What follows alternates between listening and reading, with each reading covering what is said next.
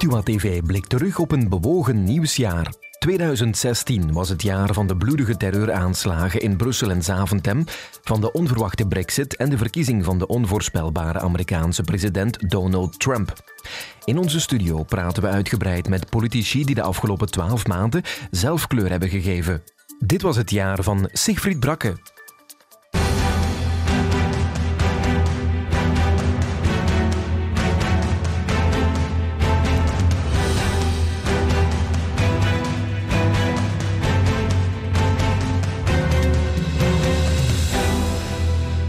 Siegfried Brakke, waar was u op 22 maart toen u het nieuws van de aanslagen in Brussel vernam? Uh, net nog even in de auto, ik denk op twee minuten van het parlement. En dan ben ik dus in de Kamer uh, gebleven, uh, gezien wat dat met mensen aanricht. Zeker bij de aanslag, of na de aanslag in Maalbeek. Ehm, ook gemerkt bijvoorbeeld dat de telefoons het niet deden. Ik had ook de opdracht om het parlement te beveiligen, want je wist natuurlijk nooit, hè, bij een aanslag is nooit de aanslag het punt, maar de volgende aanslag is altijd het punt.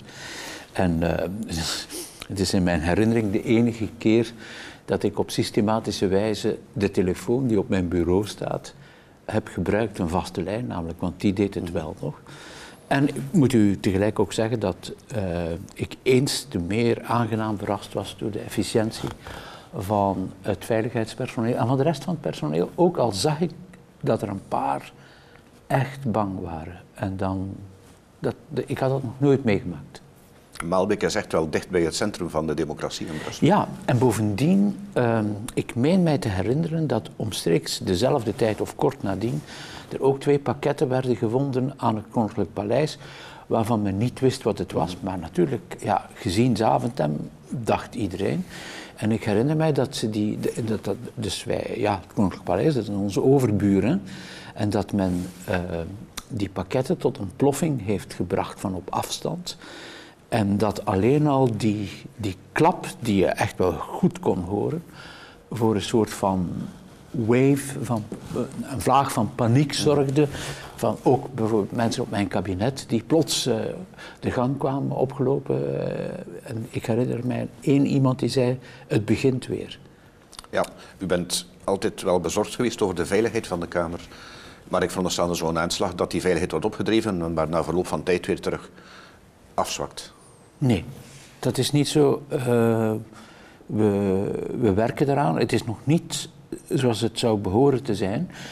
En overigens, dat is niet overdreven. Hè? Dus uh, als ik op, in het buitenland naar andere parlementen ga, die zijn echt wel beveiligd zoals het hoort. Dat was bij ons niet het geval. En dat is eigenlijk nog altijd niet het geval, omdat er ja, bestellingen lopen enzovoort. Dus er zullen een soort van scans komen waarbij iedereen zijn handtas enzovoort moet laten bekijken, zoals in een luchthaven. Maar dat is eigenlijk een beetje het nadeel van een 19e-eeuws gebouw waar we in zitten. Um, kijk naar het Vlaams parlement, daar zijn twee deuren aan. Uh, in het federale parlement zijn dat er minstens twaalf. En dus dat is veel moeilijker om te beveiligen. Je hebt ook nog het onderscheid Senaat-Kamer. En dus, um, maar vanaf een bepaald moment in november ook zijn is, of het aantal veiligheidsmaatregelen is toegenomen. En het is eigenlijk voortdurend toegenomen en dat zal nog toenemen. Maar toch moet uw Kamer ook ja, publiek toegankelijk zijn. Hij moet toch ook een, een openstaan voor, het, voor de burger. Ja, maar het een belet het andere niet. Je kan binnen op gelijk welk moment de mhm. Kamer is zelden of nooit gesloten trouwens. Maar uh, dat belet niet dat je gecontroleerd wordt. Ik denk dat we dat uh, uit onze hoofden moeten zetten. Dat is iets wat we moeten leren. Namelijk dat de wereld veranderd is. En je merkt dat op allerlei vlakken. Je ziet dat bijvoorbeeld aan de manier waarop mensen vandaag spreken over het leger. Vroeger, tot een jaar of vijf, tien geleden, waren dat boefers waar men mee lachte, totaal nutteloos. Die dronken alleen maar en voor de rest zaten die daar. Als men nu over het leger spreekt, is dat met uh, heel veel respect, omdat men tot het inzicht is gekomen dat men helaas in een gewricht is gekomen, een tijdsgewricht, waarbij men ja, gewapende troepen nodig heeft. Idem dito met de politie. Ik zie eh, als, als voorzitter van het begeleidingscomité eh, van eh, de, eh, het comité P, de controle op de politie, eh, hoe dat compleet is veranderd. Is totaal, de, de aard van het eh, onderzoek wat men daar doet, is echt compleet veranderd op, op anderhalf jaar tijd.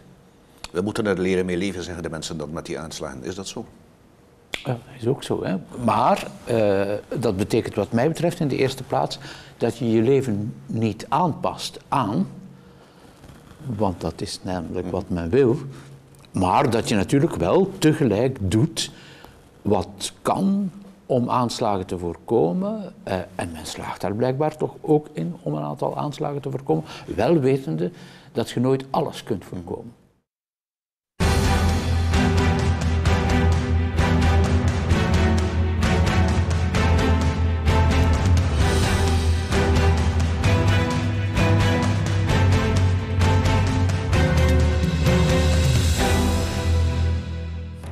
Als men u voor de stemming van de brexit had gevraagd wat de Britten zouden doen, blijven of vertrekken, wat zou u gezegd hebben? Ja, daar zat ik naast. Eh, de, de, bij de brexit eh, dacht ik dat ze gingen blijven. Ehm, omdat ehm, een, een referendum kiest zelden of nooit voor eh, verandering. Maar bij nader toezien, maar ik geef dus in dit geval toe dat dat bij nader toezien is, is het natuurlijk niet verbazingwekkend dat die stemming gebeurd is zoals ze gebeurd is. Ik heb trouwens achteraf mij de bedenking gemaakt dat in vele EU-staten, als je daar een, een, referendum doet, bij ons bijvoorbeeld, mm. ik weet ook niet zeker of bij ons de mensen zouden zeggen van ja, we gaan daarbij blijven. Is dat het probleem van Europa, dat er te weinig politieke leg legitimiteit is? Dat ze te weinig geconfronteerd worden met de kiezer? Ik ben een, een, uh, een absolute overtuigde Europeaan en ik ben dat al lang. Ik ben dat namelijk geworden toen het Oostblok nog bestond en ik daar uh, reizen maakte en zag dat dat eigenlijk mensen waren uit dezelfde groep, met dezelfde dingen bezig. Ook hedendaagse kunstenaars toen die met dezelfde... Dus dat waren echt dezelfde... Dus dat hoorde samen. En ja, je moet ook geen geleerde zijn om te zien dat je in Europa, in een wereldeconomie, een schaalvoordeel moet organiseren. Mm -hmm. En dus ik ben een echte overtuigde Europeaan.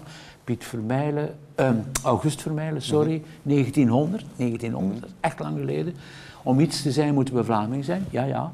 Maar we moeten Vlaming zijn om Europeer te kunnen worden. Ik denk dat dat nog altijd heel juist is. Dus ik ben een overtuigd Europeaan, maar ik ben tegelijk uh, van overtuigd dat de oplossing in dit geval nooit meer Europa kan zijn. Want dit is niet het Europa waar mensen zich verwant mee voelen.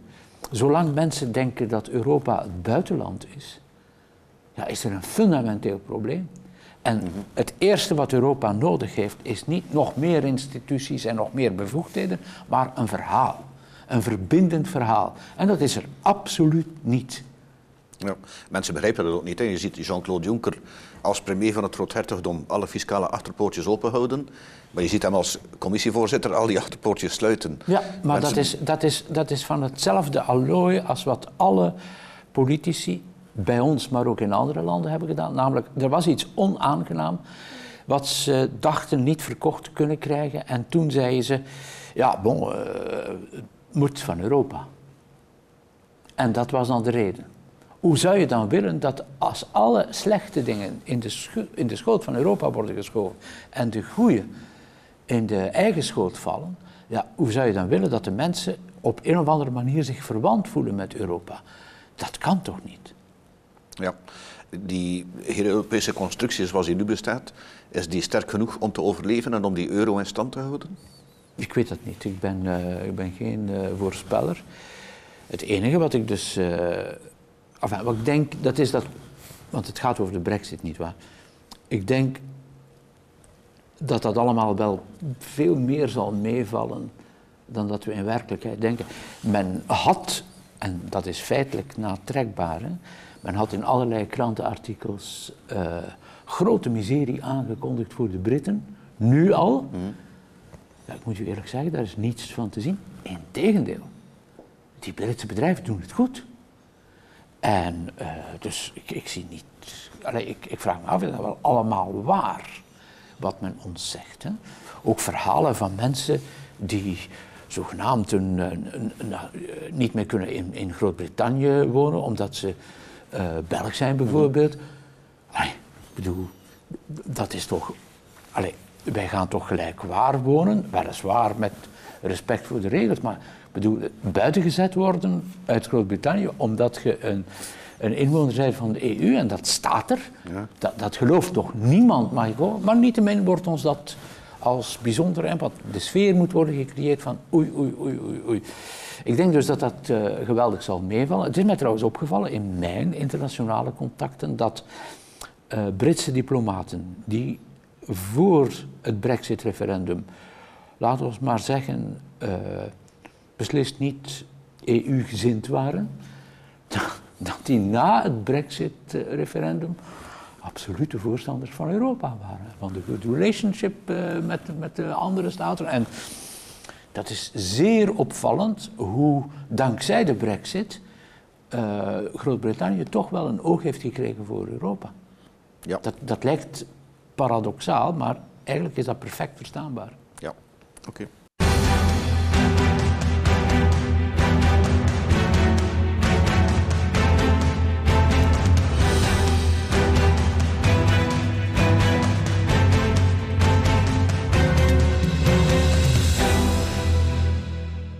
Brakke, denkt u dat er een kans bestaat dat Donald Trump als president ooit naar de hellhole Brussels komt? Maar natuurlijk. Ik bedoel, Brussels is geen hellhole om te beginnen. Je kunt daar perfect normaal leven. En waarom zou hij dat uh, niet doen? Ik, de man heeft nog risico's genomen in zijn leven, niet waar? Dus, uh, en het laatste wat hij genomen heeft, heeft hij met succes uh, ja. afgerond. Ja, u zei dat u de brexit niet had zien komen, had u Donald Trump zien komen? Ja, die wel. En een aantal mensen uit mijn, laten we maar zeggen, enge kring, heb ik weken. het was op het moment dat Hillary Clinton over de Trump-stemmers zei dat het deplorables waren. En dan weet je het. Dan weet je het. En ik heb ook wel uh, vrienden in Amerika die ja, toch wel een totaal andere klok laten horen dan wat je hier van zogeheten Amerika-watchers uh, te horen krijgt. Dat is compleet bezijden de Amerikaanse werkelijkheid. Wie daarin staat, ik, ik las een paar dagen geleden nog Greet de Keizer, die ondertussen, ik weet niet hoeveel, 15 of 16 jaar in, in, in Washington woont.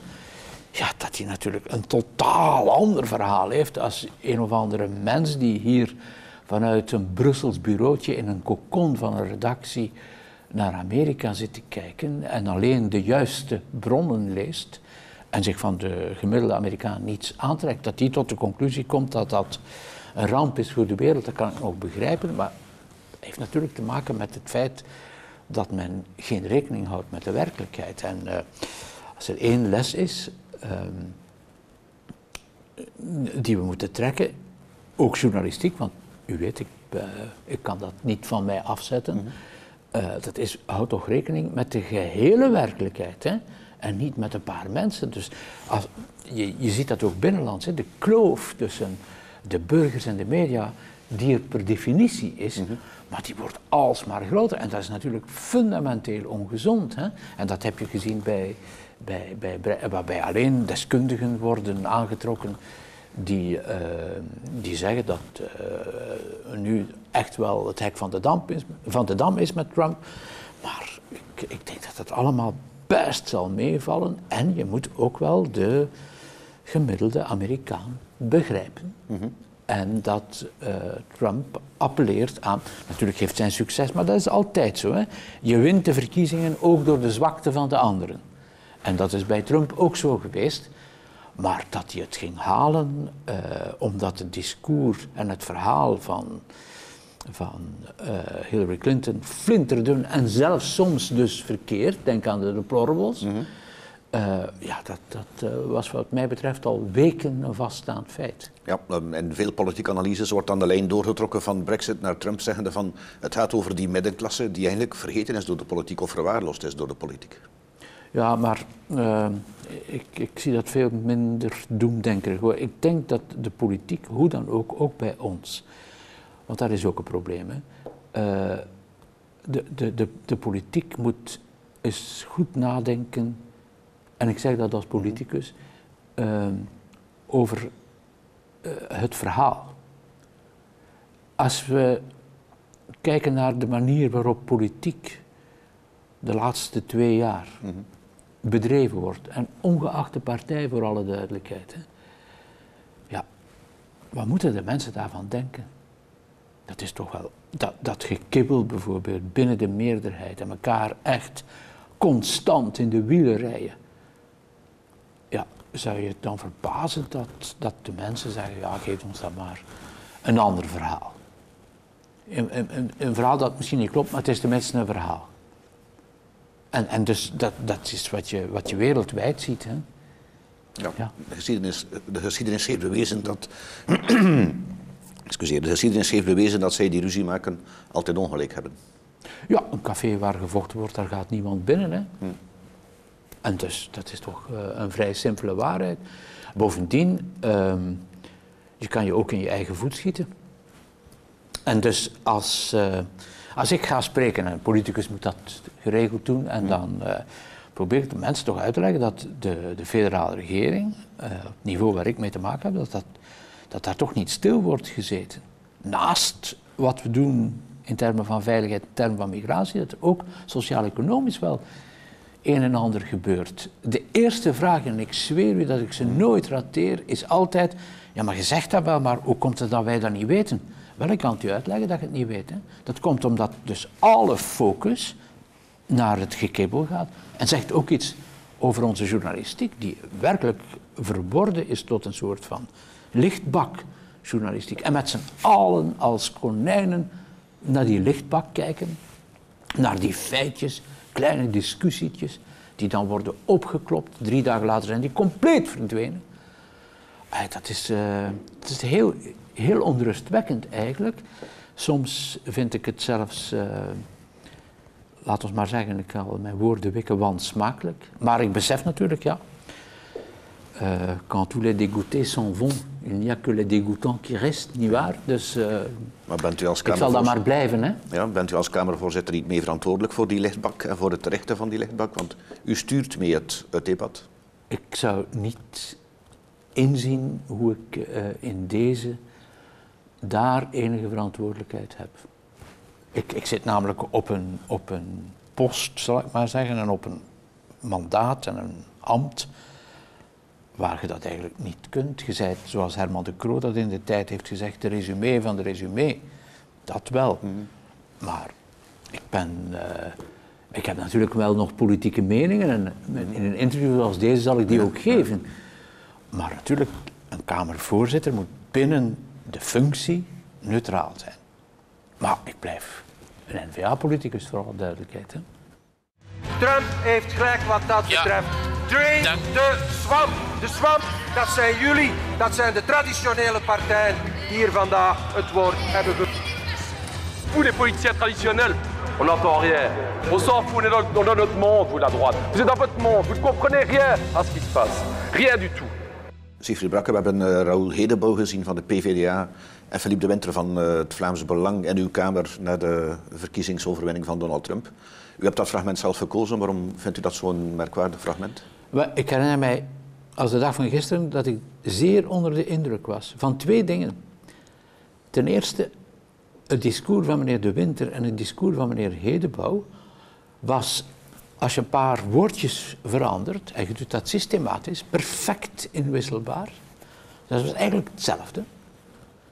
En het is toch zeer merkwaardig. Hè? En dus, eh, de- ik herinner mij hoe onder de indruk ik daarvan was. Want ik wist dat natuurlijk ook wel, les extremes se touchent, extremes meet. Ja. Maar daar zag je het. En het tweede wat je zag was dat eh, de anderen, en ik zal maar de traditionele partijen zeggen, inclusief mijn eigen partij, ja, die zaten erbij en ze keken ernaar. En iedereen was stil. En niemand had meteen een, een verhaal. Ja, er was weliswaar af en toe een repliek met een kleine sneer, maar de grond van het verhaal, ja, dat, dat, eh, dat, dat was niet. Vandaar dus de absolute behoefte om een, een, ver- een verbindend verhaal te hebben binnen de politiek. En dus uh, dat heeft op mij indruk gemaakt. Um, terwijl ik voor alle duidelijkheid absoluut niets moet weten, nog van extreem rechts, nog van extreem links. En ook ik vind dat dat dus precies hetzelfde is. En daar werd dat bewezen. Ik denk dat, dat sommige zinnen, ik heb het nooit gecheckt echt, maar dat sommige zinnen perfect inwisselbaar waren. De een kon het zeggen, maar de andere even zo goed. En ze zeiden het misschien ook allebei. Uh, en, en, en, dus, en ook de manier waarop ze de anderen uitdaagden. Van, bon, je staat daar nu, hè, je zit daar nu. Dat soort stijlen. Een omschrijving van, van populisme is populisme vult de hiaten die klassieke politici niet invullen. Ja, maar ik heb grote bezwaren, maar me niet kwalijk nemen tegen het woord populisme. Mhm. Ik verwijs altijd naar een, een, quote van Johan van der Lanotte, nogthans geen NVA'er, die in een bepaald debat, ik zal dat nooit van mijn leven vergeten, ook iemand hoorde roepen populisme. En, en, en Johan zei, uh, als je geen argumenten meer hebt, dan zegt je populisme. En dat is altijd juist. Dus ik, ik vind dat het, uh, net zoals racisme, een van de vele misbruikte woorden. Dus ik, ik zal dat niet in de mond nemen. Maar um, laat ons zeggen, ja, uh, maak een verhaal. En dat dat verhaal door het volk moet gedragen zijn, ja, sorry hè. In het woord democratie kan je dat demos, volk, democratie, de macht van het volk. Ja, maar het volk moet meedragen. En als je ze niet meekrijgt, is teken dat uw verhaal niet klopt. Of dat het niet goed in elkaar zit, of dat het niet juist verteld is, of wat dan ook. Ja? En dus, want, want, want waar stopt populisme, waar begint dat? Ik zou het begot niet weten, maar dat het woord te vaak wordt gebruikt, daar ben ik zeker van. Ja, we kunnen niet uitsluiten dat de overwinning van Trump in de VS zich zal weerspiegelen in Europa met ruk naar rechts. Oh, maar in Wallonië zal een ruk naar links zijn, hè? Hmm. Maar wat, wat betekent dat? Ik bedoel, wat, wat, dat, dat heeft weinig betekenis trouwens. Rechts bij ons in Vlaanderen uh, is sociaal-economisch heel links. Hè? En, en houdt mhm. mensen dingen voor van, uh, ja, de potten zijn eindeloos en uh, we gaan wel voor u zorgen. En links in Wallonië doet precies hetzelfde.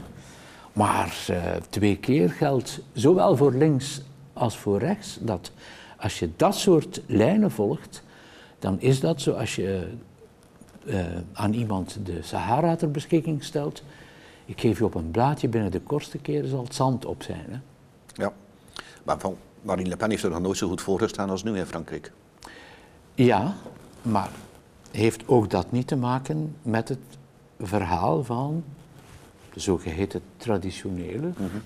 politiek dat onvoldoende ontwikkeld is. Of dat versluierd wordt door allerlei fenomenen die men eigenlijk zelf creëert. Hmm. Men moet zich dat afvragen. En wat blijkt nu nominaal, nominaal, nominaal is het tekort groter dan onder de regering Di Rupo.